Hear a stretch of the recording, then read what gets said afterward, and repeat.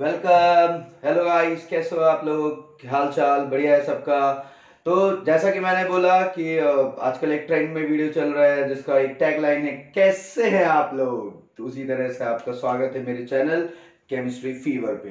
Clear तो आज का आपका टॉपिक है दैट इज़ एजोट्रॉपिक मिक्सचर मैंने बोला, आप एनसीईआरटी में पढ़ोगे तो जस्ट लाइक एक डेफिनेशन मिलेगी आपको, जो आपको बिल्कुल भी समझ में नहीं आएगी, आ भी जाएगी तो वो पेपर में उस तरह से पूछा नहीं जाता, जैसे वहाँ पर अवेलेबल होता है। तो इसी वजह से बहुत सारे बच्चों के डिमांड पे मैं आपको आज एजोट्रॉपिक मिक्सचर समझा रहा हूँ। ये इस तरीके से आपको बताया जा रहा है बताऊँगा मैं कि ये आपको जो एंट्रेंस एग्जामिनेशन है, उनमें काफ़ी ज़्यादा हेल्प करने वाला है। ध्यान से सुनिएगा जो मैं बोल रहा हूँ एंट्रेंस एग्जामिनेशन में नॉट फॉर सीबीएसई सीबीएसई में तो आना ही है सीबीएसई में तो इजी हो जाएगा इसके लिए आपको बट एंट्रेंस एग्जामिनेशन में बहुत हेल्प करेगा। तो ज़्यादा टाइम वेस्ट नहीं करते स्टार्ट विद द टॉपिक तो एजियोट्रॉपिक मिक्सचर को बच्चों, हम कांस्टेंट बॉइलिंग सॉल्यूशन कहते हैं। हम क्यों कहते हैं इसे कांस्टेंट बॉइलिंग सॉल्यूशन क्या होता है ये? ये मैं आपको आगे बताऊँगा फर्दर बताऊँगा बट सबसे पहले आपको इसमें जानना ज़रूरी होता है फ्रैक्शनल डिस्टिलेशन बहुत से बच्चों को डाउट होता है वट इज़ फ्रैक्शनल डिस्टिलेशन तो मैंने इसके बेस पे मैंने यहाँ पर नाम आपने नाइन्थ क्लास से सुना हुआ है आई थिंक ये आपने सुना ही होगा। तो उसके भी पे मैंने जस्ट एक डेफिनेशन यहाँ पे लिख दिया है कि it is the process of separation it is the process of separation of binary liquid what is the meaning binary liquid का मतलब क्या है? मतलब है कि आपके पास एक सॉल्यूशन है। सोल्यूशन है सॉरी जिसमें आपके पास दो कंपोनेंट है। बाइंड्री मतलब दो कंपोनेंट है। एक सॉल्यूट होगा और एक सॉल्वेंट होगा। क्लियर बेटा? तो binary liquids having very less difference in their boiling point what is the meaning very less difference in their boiling point क्या मतलब है? इसका मतलब यह है कि दो कंपोनेंट जो सॉल्यूट और सॉल्वेंट है, उनके बॉइलिंग पॉइंट में अंतर बहुत कम है। डिफरेंस बहुत कम है। तो जब डिफरेंस कम होता है तो जब आप उसको हीट करते हो वेपराइज करते हो, फिर उसे कंडेंस करते हो, आपने डिस्टिलेशन याद होगा, पहले हम उसको क्या करते हैं हीट करते हैं हीट करते हैं तो लिक्विड किसमें कन्वर्ट होता है? वेपर में कन्वर्ट होता है। वेपर को ठंडा करो ठंडा करो, किसमें आएगा? लिक्विड में आएगा। तो अगर दोनों में अंतर ज़्यादा है बॉइलिंग पॉइंट का डिफरेंस ज़्यादा है, तब तो भाई जिसका बॉइलिंग पॉइंट पहले आएगा, वो पहले निकल जाएगा। वेपराइज होके पहले निकलेगा कंडेंस होके पहले निकलेगा, दूसरा वही रह जाएगा। लेकिन अगर दोनों के बीच में डिफरेंस कम है दोनों के बॉइलिंग पॉइंट में अगर डिफरेंस कम है और तब अगर आप हीट करते हो तो क्या होगा? तो ये भी वेपराइज होगा, दूसरा वाला भी होगा। तो हम सेपरेट कैसे करें? दैट इज़ द लॉजिक तो फ्रैक्शनल डिस्टिलेशन उन लिक्विड्स के लिए होता है, उस सॉल्यूशन के लिए होता है जिसके कंपोनेंट्स के बीच में बॉइलिंग पॉइंट का डिफरेंस काफ़ी कम होता है।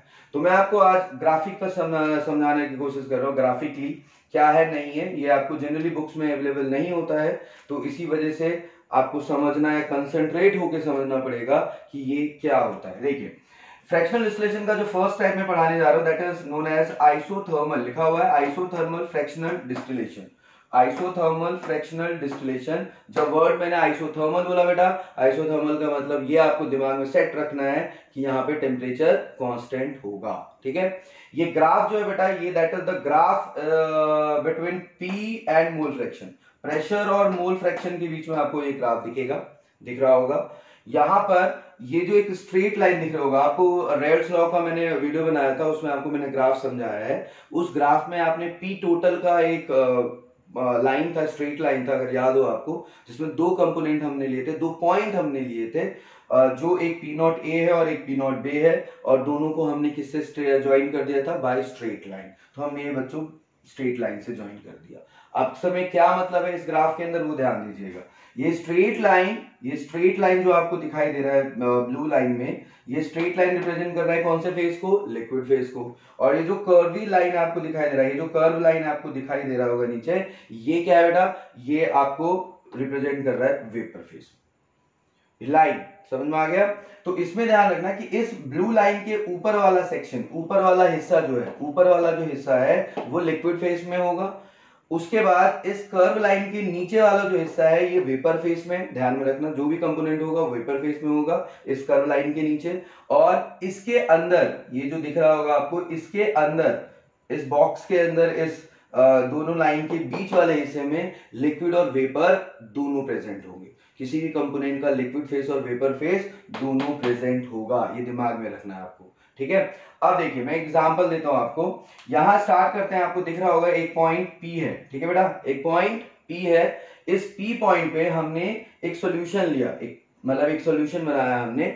उस सॉल्यूशन में आपको दिख रहा होगा काई ए और काई बी काई ए और काई बी क्या है बेटा? Mole fraction of component A and B in liquid phase in liquid phase ध्यान रखना। ये आपको यहाँ पर मैंने मेंशन भी किया हुआ है ग्राफ में, ये काई ए इक्वल टू वन है और यहाँ पे नीचे Y A equal to one है। इसका मतलब ये हुआ mole fraction of component A and Y A is क्या? Mole fraction of component A फ़र्क क्या है? लास्ट वीडियो जाके देखिए। काई ए किसके लिए होता है? For liquid phase Y A किसके लिए होता है? फॉर वेपर फेस और ये जो बी का ग्राफ है, इसमें काई बी और वाई बी है। क्या मतलब हुआ? Mole fraction of B component in liquid phase Y B क्या है? Mole fraction of component B in vapour phase. ठीक है बेटा? ध्यान रखना। इन दोनों को मैंने वन वन ले लिया यानी काई ए यहाँ वन है धीरे धीरे इधर से कम होगा। अब जरा गौर से देखो मैंने लिख रखा है। 0.9 0.8 0.7 0.6 0.5 ऐसे करके डिक्रीज हो रहा है। तो काई ए की वैल्यू ऐसे डिक्रीज हो रही है, हो रही है। Chi A mole fraction of A in liquid phase धीरे धीरे कम होता जाएगा, कम होता जाएगा, यहाँ काई ए ज़ीरो हो जाएगा। यानी ए का लिक्विड फेस इस वाले कंपोनेंट पे यहाँ पे बचेगा ही नहीं। ए का लिक्विड फेस बचेगा ही नहीं। ध्यान रखना उसी तरह से। Y a equal to one है। ऐसे जाके कम हो रहा है। यानी यहाँ जाते जाते जाते जाते जाते क्या हो जाएगा? Y a ज़ीरो हो जाएगा। मतलब इसका वेपर फेस भी नहीं बचेगा। किसका? A का। और यहाँ पर यहाँ पर बचेगा सिर्फ़ कौन? Chi B equal to one Y B equal to one यानी b कंपोनेंट b कंपोनेंट का यहाँ पे क्या बचेगा? यहाँ पर b कंपोनेंट का लिक्विड फेस भी रहेगा और वेपर फेस भी होगा। ध्यान रखना इसी वजह से लिखा हुआ अब यहाँ पर आपने देखा पी नॉट ए नीचे है पी नॉट बी ऊपर है तो आपको बगल में मैंने लिख दिया है लेट कर लिया है मैंने। क्या लेट किया हुआ है कि P naught B is greater than P naught A P naught B अगर आप उल्टा कर दो तो ये ग्राफ नीचे आ जाता। और उल्टा हो जाता है ये ग्राफ ठीक है? तो मैंने पी नॉट बी को बड़ा माना है पी नॉट ए को छोटा माना है। यानी मैं मान के चल रहा हूँ कि बी जो है, उसका प्रेशर ज़्यादा है, इसका मतलब वो ज़्यादा वोलाटाइल होगा। ध्यान दीजिएगा। इसलिए वो ऊपर है और पी नॉट ए नीचे उसके बाद से अगर आप देखोगे तो जैसा मैंने बोला कि हमने एक सोल्यूशन लिया। और सोल्यूशन कौन से फेस में होता है? लिक्विड फेस में होता है। वहाँ पर आपने जो सोल्यूशन बनाया, उसमें ए कंपोनेंट का मोल फ्रैक्शन 0.8 है। लिक्विड फेस है। बी कंपोनेंट जो है वो 0.2 वन से माइनस कर देंगे। अब ध्यान से समझिएगा, ये लाइन नीचे की तरफ़ आ रही है। आपको दिख रहा होगा, ये लाइन डॉटेड लाइन दिखा रहा हूँ मैं। ये नीचे की तरफ़ आया और जैसे ही इस ब्लू वाले लाइन को वो टिक करता है, जैसे ही वो ब्लू वाले लाइन पे पहुँचता है, ठीक है बच्चों? जैसे ही वो ब्लू वाले लाइन पे पहुँचता है तो क्या होगा? वहाँ जाने के बाद, मैंने यहाँ लिखा है first drop of vapour first drop of vapour ये जो लिक्विड है, जैसे इस लाइन को टच करेगा, हल्का से नीचे आएगा तो इस लिक्विड का पहला वेपर बनना यहाँ पर स्टार्ट हो जाएगा। इस लिक्विड का पहला वेपर बनना यहाँ पर स्टार्ट हो जाएगा। समझ में आ गया? फिर उसके बाद से थोड़ा नीचे आओ। देखिए, यहाँ पे दूसरा आपको ब्लैक डॉट नज़र आ रहा होगा। दिख रहा है सबको? ये ब्लैक डॉट नज़र आ रहा है। इस जगह पर ये बीच में है। इसका मतलब यहाँ पे देखिए मैंने एरोस लिखा है। यहाँ लिक्विड और वेपर दोनों फेस अवेलेबल होगा प्रेजेंट होगा बोथ लिखा हुआ है।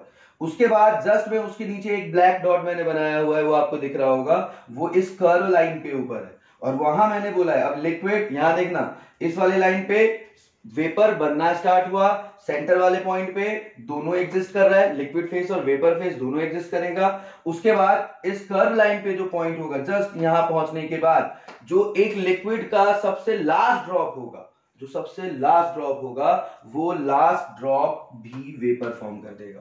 यानी पूरा का पूरा लिक्विड कन्वर्ट हो चुका है किसमें? वेपर में। पूरा का पूरा लिक्विड वेपर में कन्वर्ट हो गया। और उसके जस्ट नीचे वाले पॉइंट पे आप देखिए। जस्ट नीचे वाले पॉइंट पे ओनली वेपर लिखा हुआ है। What is the meaning only vapour का मतलब हुआ, यहाँ कोई लिक्विड फेस है ही नहीं। जरा नीचे देखना गौर से। तो यहाँ सारा लिक्विड था, यहाँ पे वेपर बनना स्टार्ट हुआ, उसके बाद से यहाँ पर दोनों एग्जिस्ट कर रहा है। यहाँ पर क्या हुआ? यहाँ पर क्या हुआ? सारा का सारा लिक्विड जो होता है वेपर फेस में आ गया और नीचे वाले लाइन में only and only vapour phase is present कोई लिक्विड फेस नहीं होगा। कोई लिक्विड फेस नहीं होगा। अब जरा गौर से समझना, इसको अगर मुझे एक दूसरी चीज़ में समझाता हूँ आपको यहाँ मान लीजिए यहाँ पर इसने वेपर बनना स्टार्ट हुआ। इस पॉइंट पे वेपर बनना स्टार्ट हुआ, ठीक है? अब वेपर जो होगा बच्चों, वो किधर जाए इस पॉइंट पे वेपर बनना स्टार्ट हुआ। ये लिक्विड जो था, यहाँ पे आके वेपर बनना स्टार्ट हुआ। अब यहाँ कोई बोले कि भाई यहाँ वेपर बनाए तो कितना बनाए? तो आप इसको इस तरह से देखना जरा गौर से, इस तरह से यहाँ ला सकते हो। ये यहाँ पे पहुँच गया, इस पॉइंट पे कनेक्ट कर रहा है, इस पॉइंट का मतलब वेपर पे आ गया। फिर इसको हम दोबारा से कंडेंस करेंगे कंडेंस करेंगे तो कहाँ जाएगा? ये यहाँ आ जाएगा। यानी फिर वो लिक्विड बन गया। वेपर जो था वो वापस से कंडेंस होकर लिक्विड बन गया। फिर उसको हम आगे लेके जाओ, उसको फिर हमने क्या कर दिया? यहाँ पे कितना वेपर है वो पता चल गया। फिर उस वेपर को आप क्या कर दो? कंडेंस कर दो। उसके बाद से आप सीधा यहाँ पर जाके पहुँच जाओगे। तो होगा क्या मतलब? होगा ये कि धीरे धीरे धीरे धीरे सारा का सारा जो मतलब क्या हो गया? कि ए कंपोनेंट जो है मोल फ्रैक्शन ऑफ़ ए जो है लिक्विड फेस में, वो किसमें हो गया? वो सारा का सारा जो हो गया, वो वेपर फेस में कन्वर्ट हो गया। तो ये ये ग्राफ इस तरह से दिखाया जाता है। फिर मैंने दूसरा यहाँ पे लिखा है, दूसरा इसका जो टाइप होता है that is isobaric fractional distillation isobaric fractional distillation मैं आपको समझाता हूँ, ये क्या है? तो आइसोबारिक फ्रैक्शनल डिस्टिलेशन में दिख रहा होगा आपको। यहाँ पे मैंने लिखा है कि जिसका वेपर फेस ज़्यादा होगा वेपर प्रेशर ज़्यादा होगा फेस नहीं वेपर प्रेशर जब ज़्यादा होगा, क्या मतलब हुआ? कि जब वेपर प्रेशर किसी चीज़ का ज़्यादा है तो उसका बॉइलिंग पॉइंट तुरंत पहुँच जाता है। जल्दी पहुँच जाता है। ये दिमाग में रखना एजोट्रप का सबसे मेन कंसेप्ट यही है कि अगर वेपर प्रेशर ज़्यादा है तो बॉइलिंग पॉइंट पहुँचने में टाइम नहीं लगता। तो मैंने बोला, जिसका वेपर प्रेशर ज़्यादा होगा, उसका बॉइलिंग पॉइंट कम होगा। जिसका वेपर प्रेशर कम होगा, उसका बॉइलिंग पॉइंट ज़्यादा होगा। ठीक है बच्चों? अब उसी के बिहार पे मैंने बोला कि यहाँ पर हमने बोला था कि पी नॉट बी जो है, वो बड़ा है। तो पी नॉट बी बड़ा है, यानी प्रेशर बड़ा है। तो अगर इसका प्रेशर बड़ा है तो इसका बॉइलिंग पॉइंट क्या होगा? कम होगा। अगर इसका प्रेशर बड़ा है तो बी का बॉइलिंग पॉइंट क्या होगा? कम होगा। और प्रेशर अगर ए का कम है तो उसका बॉइलिंग पॉइंट क्या होगा? ज़्यादा होगा। दैट इज़ द मीनिंग तो हमने यहाँ पे ग्राफ बना दिया बेटा। अब ग्राफ में देखिए ग्राफ जो है टेम्परेचर वर्सेज मोल फ्रैक्शन है। टेम्परेचर वर्सेज मोल फ्रैक्शन ये वाला किसमें था? प्रेशर वर्सेज मोल फ्रैक्शन ये वाला किसमें है? टेम्परेचर वर्सेज मोल फ्रैक्शन यहाँ पर ए कंपोनेंट क्योंकि प्रेशर कम है किसका? ए का तो बॉइलिंग पॉइंट ज़्यादा है। तो इसलिए ए का जो है, वो बॉइलिंग पॉइंट टेम्परेचर हमने ऊपर लिया है और बी का हमने नीचे लिया हुआ है। सिंपल और फिर हमने ये दो कर्व लाइन दिखा रहा हूँ मैं आपको, एक ब्लू कलर से, एक ब्लैक कलर से। ब्लू वाला ऊपर आ गया, ये वेपर फेस है। यहाँ पर देखिएगा, इस ग्राफ में ऊपर वाली लाइन लिक्विड फेस थी, नीचे जो था वेपर फेस था। क्योंकि यहाँ पे प्रेशर वर्सेस मोल फ्रैक्शन था। बट टेम्परेचर वाले में उल्टा होता है। टेम्परेचर वाले में रिवर्स हो गया ना जिसका प्रेशर ज़्यादा होता है, उसका बॉइलिंग पॉइंट कम होता है। तो इसी वजह से ये उल्टा हो जाएगा, जो ऊपर आएगा, वो वेपर फेस होगा, जो नीचे होगा, वो लिक्विड फेस होगा। ठीक है? और सिमिलरली उसी की तरह मैंने यहाँ पर एक लिक्विड लिया, एक लिक्विड सोल्यूशन लिया, ये ऊपर राइज करेगा, ऊपर राइज कर रहा है तो उसका टेम्परेचर बढ़ रहा है, बढ़ रहा है, बढ़ रहा है, यहाँ पहुँच गया। यहाँ जैसी वो पहुँचा, यहाँ जिस पॉइंट पे जैसी वो पहुंचेगा तो लिक्विड क्या स्टार्ट होना शुरू हो जाएगा? वो वेपर बनना शुरू हो जाएगा। ये लिक्विड जो ए है, अभी लिक्विड फेस में था, यहाँ पहुँचने के बाद वो वेपर फेस में जाएगा और वेपर फेस को हम कितना वेपर बनेगा वो यहाँ से पता चलेगा। फिर उसको दोबारा से कंडेंस करेंगे तो वो यहाँ आ जाएगा, यानी वापस वो लिक्विड बन गया। उसको फिर वेपराइज करेंगे, फिर वेपर फेस इस तरह से आप यहाँ तक पहुँच जाओगे। तो बच्चों, ये सिमिलरली मूल फ्रैक्शन हो गया, बाकी ये चीज़ें सेम एज इट इज़ इसी ग्राफ की तरह है। और ये ग्राफ जो होता है, वो आइडियल सॉल्यूशन के लिए होता है। तो ध्यान देना, ये जो ग्राफ होता है, ये ग्राफ आप किसके लिए पढ़ते हो जनरली आइडियल सॉल्यूशन के लिए ये ग्राफ पढ़ा जाता है। ठीक है बेटा? ये आइडियल सॉल्यूशन के लिए ग्राफ जो होता है, ये पढ़ जाता है और ये उसका दूसरा टाइप है आइसो बारिक फ्रैक्शनल डिस्टिलेशन और बारीक है तो ऑब्वियस रीजन है प्रेशर कांस्टेंट था और तीसरे टेम्परेचर और मोल फ्रैक्शन का ग्राफ है। ये आइसोथर्मल था तो टेम्परेचर कांस्टेंट था, इसलिए प्रेशर और मोल फ्रैक्शन का ग्राफ है। अब हम बात, अब हम बात करेंगे कि एजोट्रॉपिक मिक्सचर में जो टाइप होता है, उस टाइप में कैसे हम ग्राफिकली उन टाइप्स को हम दिखाते हैं। ठीक है? तो बच्चों, अब मैं बात करूँगा उन कंडीशंस की जिन कंडीशंस में एजोट्रॉप फॉर्म होता है, ठीक है? तो उन कंडीशंस में बात करेंगे, जब एजोट्रॉप फॉर्म होता है या फॉर्म किया जाता है या बन जाता है, उनकी बात करेंगे हम। तो कंडीशन टू फॉर्म एजोट्रॉप दिखाई दे रहा होगा आपको। इसमें फ़र्स्ट आ जाता है should be non ideal solution तो यानी आपको ये क्लियर रखना है कि एजोट्रॉप सिर्फ़ और सिर्फ़ नॉन आइडियल सोल्यूशन से ही बनता है, दूसरे सोल्यूशन या आइडियल सोल्यूशन से फॉर्म नहीं होगा। Should be form non by non ideal solution only either by positive deviation from Raoult's law दो टाइप बता रखा है आपको मैंने लास्ट वीडियोस में, कि positive deviation from Raoult's law या negative deviation from Raoult's law इन्हीं दोनों से आपको एजोट्रॉप मिलेगा। आइडियल सोल्यूशन से एजोट्रॉप नहीं मिलेगा। सेकेंड पॉइंट आता है बाइनरी सॉल्यूशन होना चाहिए। बाइनरी मतलब दो कंपोनेंट होना चाहिए, एक सॉल्यूट और एक सॉल्वेंट सिंपल एज दैट एक सॉल्यूट और एक सॉल्वेंट यही दो चीज़ें होनी चाहिए। और उसके अलावा थर्ड कंपोनेंट आप एजोट्रॉप के लिए नहीं यूज़ करोगे। थर्ड होता है fix and constant composition fix and constant composition क्या मतलब हुआ इसका? फिक्स एंड कांस्टेंट कंपोजिशन का मतलब हो जाता है बच्चों की जब एजोट्रॉप यानी रैंडमली आप किसी सॉल्यूट को किसी सॉल्वेंट में मिला दीजिए तो उससे आपको एजोट्रॉप नहीं मिलेगा। वो एक सोल्यूशन है वो सोल्यूशन एजोट्रॉप कब बनता है? जब सर्टेन कंडीशन में जाने के बाद या सर्टेन कंपोजिशन में जाने के बाद कुछ अमाउंट सॉल्यूट का, कुछ अमाउंट सॉल्वेंट का जो है वो क्या हो जाता है? उनका एक कंडीशन ऐसी आती है जिस कंडीशन में उनका लिक्विड फेस और वेपर फेस जो होता है वो इक्वल हो जाता है। तब हम बोलते हैं कि वो एजोट्रॉप बन गया। यानी रैंडमली मिलाया हुआ सोल्यूशन आपका एजोट्रॉप नहीं बनेगा। एक सर्टेन अमाउंट ऑफ़ सोल्यूट एक सर्टेन अमाउंट ऑफ़ सॉल्वेंट होना चाहिए। तब जाके ही वो एजोट्रॉप फॉर्म होता है। ध्यान रखना। तो इसमें फिक्स्ड और कांस्टेंट कंपोजिशन का मतलब ये होता है can not be separated by fractional distillation क्या मतलब है इसका? कि फ्रैक्शनल अभी मैंने लास्ट आपको ये बताया था कि फ्रैक्शनल डिस्टिलेशन मेथड से ये सेपरेट नहीं किए जाते। क्यों नहीं किए जाते? आपको बताया अभी मैंने कि फ्रैक्शनल डिस्टिलेशन से सेपरेशन वहीं पॉसिबल होता है बच्चों, जहाँ पर जहाँ पर आपके पास ध्यान में रखना फ्रैक्शनल डिस्टिलेशन वहाँ पॉसिबल होगा, जिस जगह पर आपके पास दोनों के बॉइलिंग पॉइंट में, दोनों के बॉइलिंग पॉइंट में, ध्यान से समझना, दोनों के बॉइलिंग पॉइंट में क्या होना चाहिए? डिफरेंस जो होता है वो कम होना चाहिए। तब आप फ्रैक्शनल डिस्टिलेशन जो होते हैं वो यूज़ कर सकते हो। तो ये कह रहे हैं कैन नॉट बी सेपरेट और फ्रैक्शन मतलब उस मेथड से भी ये सेपरेट नहीं होने वाला। क्यों नहीं होता है सेपरेट मैं उसका एग्जांपल दूँगा। और वही चीज़ मैंने यहाँ लिखा है एक्स इक्वल टू वाई या का equal to Y that is A component का लिक्विड फेस में जो मोल फ्रैक्शन होगा, वो इक्वल होना चाहिए वेपर फेस में मोल फ्रैक्शन के। सिमिलरली बी में भी होना चाहिए। यानी जब लिक्विड और वेपर फ़ेज़ का मोल मोल फ्रैक्शन क्या होगा? इक्वल होगा, तभी हम बोलेंगे कि ये एजोट्रॉप बना है। अगर वो इक्वल नहीं है तो एजोट्रॉप नहीं बना है। और एक पॉइंट मैं आपको और ऐड ऑन कर देता हूँ यहाँ पे।